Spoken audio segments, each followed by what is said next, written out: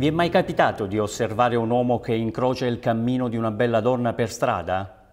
Cambia subito postura in modo istintivo, alza la testa, raddrizza le spalle, mette subito in scena quasi una danza di corteggiamento, come fosse un pavone. La donna può essere vestita con un paio di jeans e una maglietta o con un vestito corto e scollato, poco importa. Lei sa che ogni volta che mette piede su un suolo pubblico qualsiasi individuo, se vuole, può rovinarle la giornata.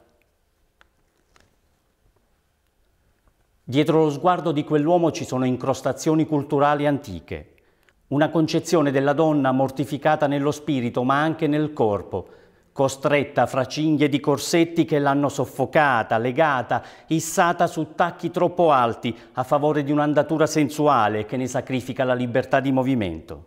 È tutto per soddisfare canoni di bellezza a uso e consumo di altri.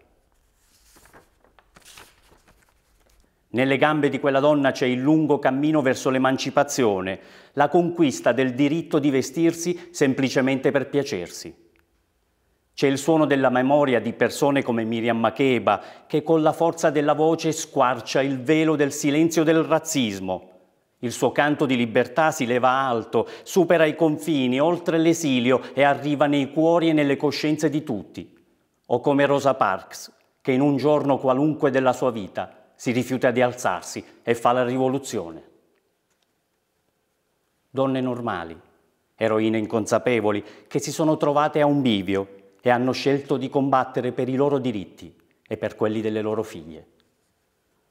L'uomo è ancora lì, fermo al décolleté, non sa come ci si sente nel percepire la metà della retribuzione a parità di mansione professionale.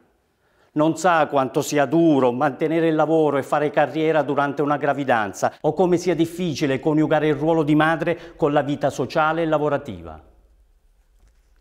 La donna avanza con forza, tenacia, determinazione, riesce a tenere insieme figli, casa, bollette anche con 39 di febbre, mentre il compagno basta un banale mal di gola e finisce dritto sotto le coperte.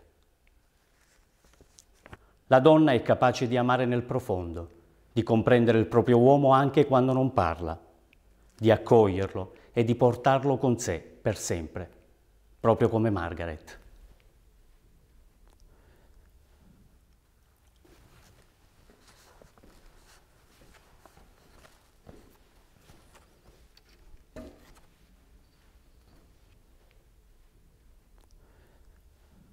Margaret ha concluso la sua giornata di lavoro, è un medico di base. Londra è grigia, come sempre, piovosa anche quando non piove. Margaret cammina serena con addosso il suo impermeabile e gli occhiali, silenziosi. La strada è immediatamente affollata di gente che lascia la propria storia come fosse una scia, fatta di odori, passi, ricordi e gesti, la scia di una storia sempre diversa. La stazione è lì, proprio davanti a lei. Margaret prende le scale, scende e si siede. Il treno arriverà fra poco. Intanto, come getti d'acqua, le persone zampillano nello spazio con parole e pensieri. Vanno di fretta. C'è chi guarda l'orologio in continuazione, come se fissare lo scorrere dei minuti accorci il tempo di attesa. Margaret sorride, è seduta sulla sua panchina. Non guarda l'ora, lei non ha fretta. Non c'è nessuno che l'aspetti a casa, nessun appuntamento di lavoro, semplicemente sta lì, chiude gli occhi, serra le palpebre fino a farsi male per fuggire da quel momento di profonda tristezza. Le mani tese a fermare la marea, non vuole lasciarsi sopraffare, ma le lacrime montano dal suo cuore. Stringe gli occhi più forte, finge di non essere lì. Colori sgargianti, suoni indistinti, un piacevole calore è il solo del Marocco. Margaret ricorda, anzi no, rivive, e pensare che non voleva nemmeno partire. Invece il Marocco l'aveva stupita, gli odori, i suoni e quella gente così diversa da tutto il grigio a cui era abituata, come aprire un libro di fiabe.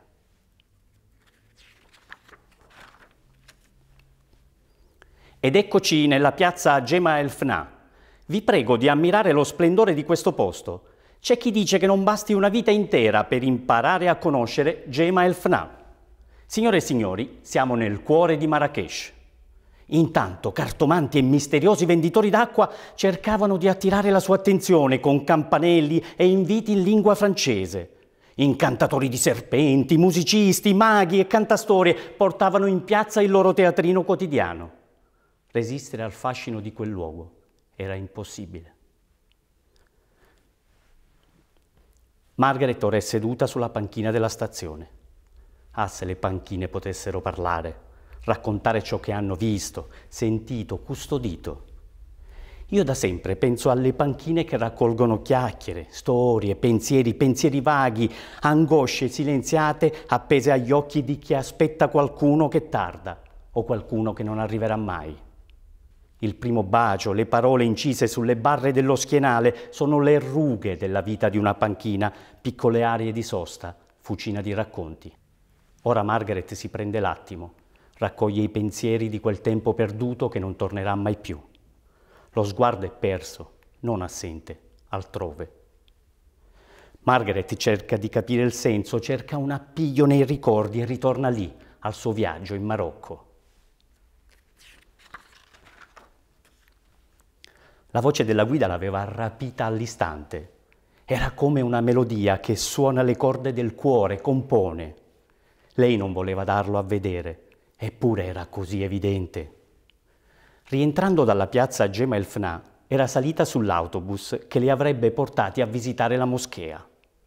Margaret non aveva visto la scaletta ed era inciampata, cadendo delicatamente proprio sulle braccia di Oswald, la guida, che le aveva detto sorridendo, attenta al gradino.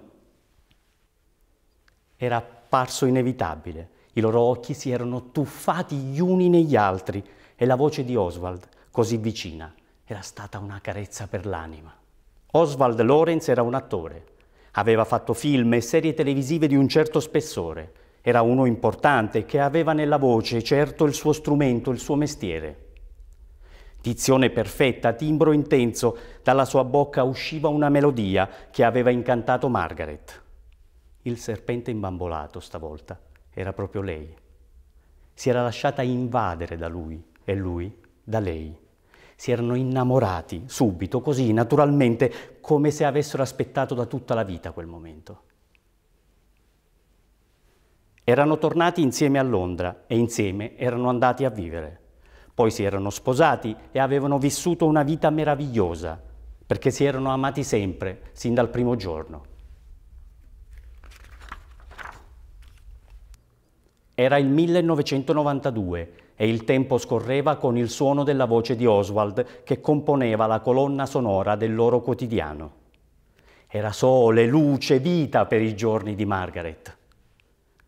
Qualche tempo dopo Oswald le aveva raccontato con un sorriso divertito che aveva prestato la sua voce a una stazione della metropolitana di Londra, quella di Embankment. Aveva recitato l'annuncio Mind the Gap, che vuol dire attenti al gradino.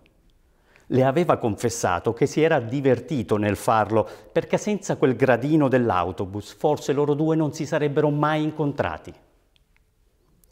Nel 2007 Oswald si era ammalato, non importa di quale malattia, ma si era ammalato e come molti era morto, lasciando Margaret sospesa fra i ricordi e il vuoto, gli occhi chiusi per respingere le lacrime. Ora Margaret è lì, seduta su quella panchina, fra gente che corre, fra gente che guarda l'orologio, mentre lei aspetta.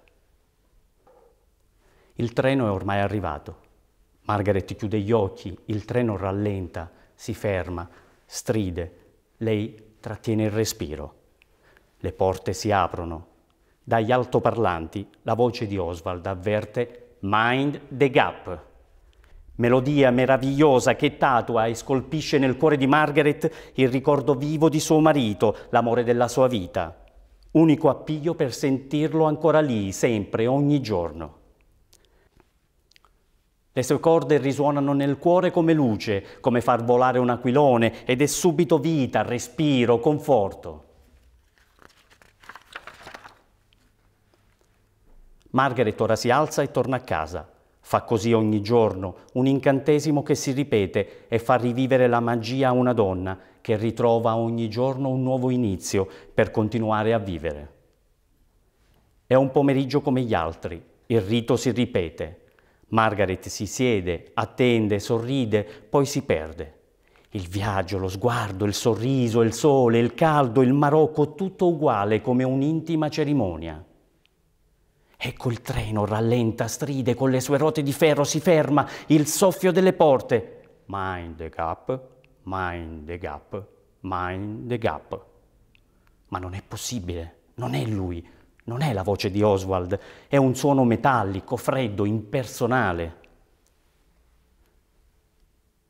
Margaret cade e si sveglia. L'aquilone precipita nel vuoto. La magia è spezzata, lo specchio è infranto, si sente perduta. Le hanno strappato via Oswald per sempre. Il suo unico appiglio è svanito fra il metallo di un treno. Le parole mute cadono nel vuoto che ha dentro. Non può finire così deve ritrovarlo, deve riaverlo. Le viene in mente la poesia che aveva sentito in Marocco sul rabab, quell'antico violino simile alla nostra lira calabra. Sai tu cosa dice il rabab? Sono corteccia rimasta lontana dal tronco. Perché non dovrei piangere nel tormento della separazione?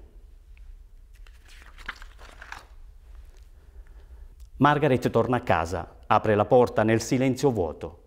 Prende carta e penna e scrive una lettera alla direzione generale della metropolitana di Londra. La voce è stata sostituita dall'annuncio automatizzato per un adeguamento alle disposizioni della stazione. La risposta arriva da un impiegato che non ha potuto fare altro. Scrive a Margaret e consegna la lettera ai superiori. Il direttore della Transport of London legge la missiva della signora Margaret McCallum e rimane colpito, emozionato. Contatta la donna e le regala la copia registrata della voce di Oswald. Può sentirlo tutte le volte che vuole e ritrovare l'inizio ogni giorno. Ma il direttore fa di più. Ripristina l'annuncio originale nella stazione di Embankment. Ancora oggi, se vi capita di fermarvi in quella stazione di Londra, ascoltate con attenzione. Potete sentire la voce di Oswald Lawrence che ripete per la sua Margaret.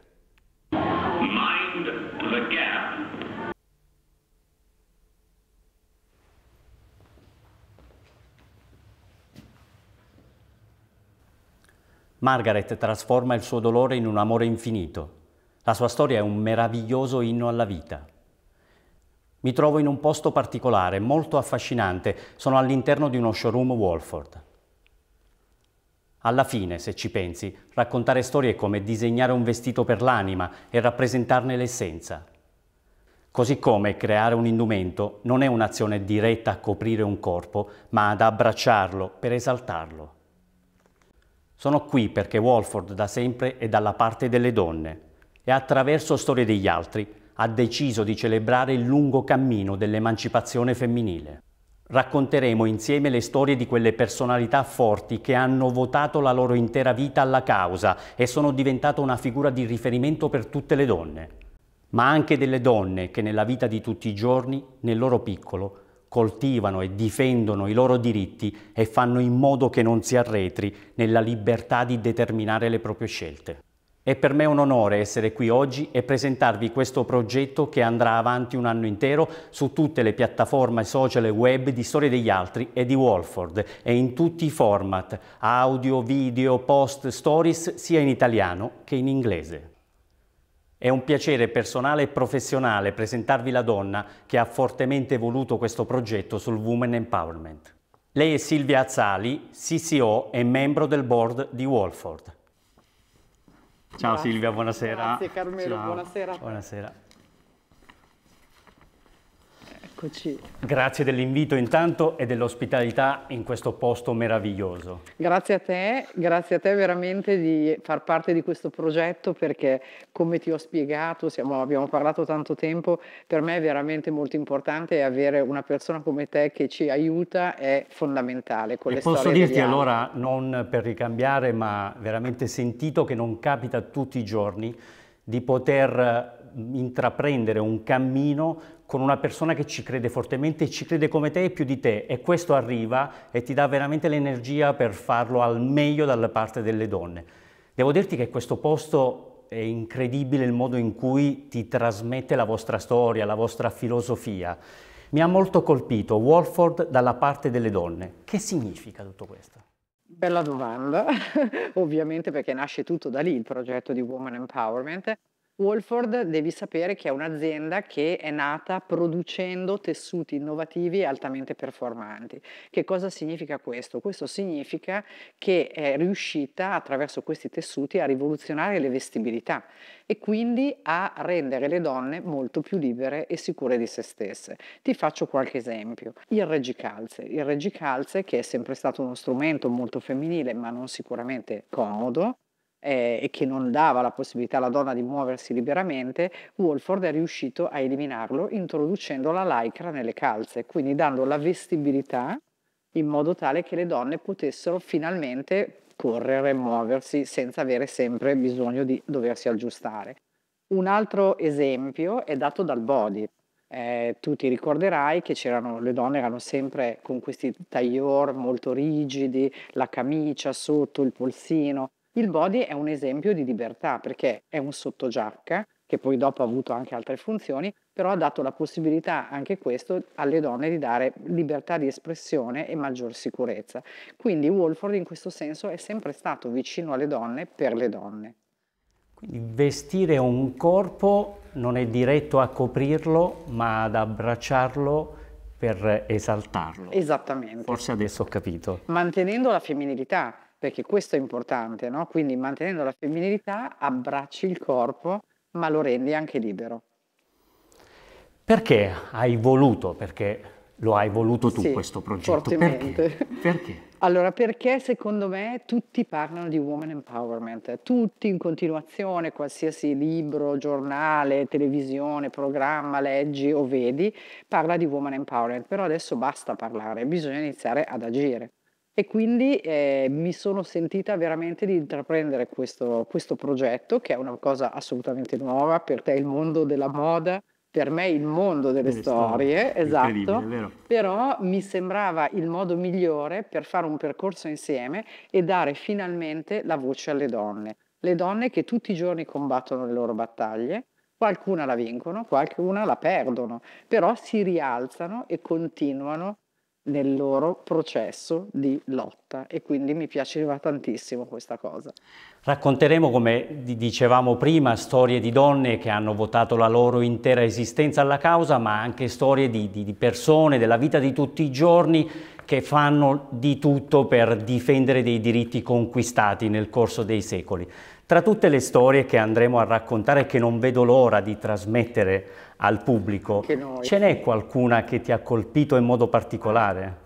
Allora, ovviamente, sai, tutte le donne per me sono uniche e irripetibili, quindi ogni storia è assolutamente meravigliosa e come le racconti tu è proprio da brivido. Io sono una tua lettrice da tanto tempo. Eh, se però magari devo fare una scelta, mi viene, mi viene da dire, una sicuramente Simone de Beauvoir, perché comunque un po' questa parte intellettuale ma simbolo dell'emancipazione femminile secondo me è stata molto importante per, per le donne. E un'altra che io amo particolarmente è Marlene Dietrich perché? Perché comunque è la diva per eccellenza, molto fredda, un po' algida, distante, ma comunque questo, questo look androgino lo trovo estremamente attuale perché parla della fluidità dei generi, secondo me, per la prima volta. Wolford, Storie degli altri, insieme per un lungo anno, ogni settimana racconteremo storie di donne, perché è proprio lì, nelle storie, che si annida il palpito umano, il fogliame dei grandi temi sociali, civili, sempre con una missione precisa, costruire un mondo migliore.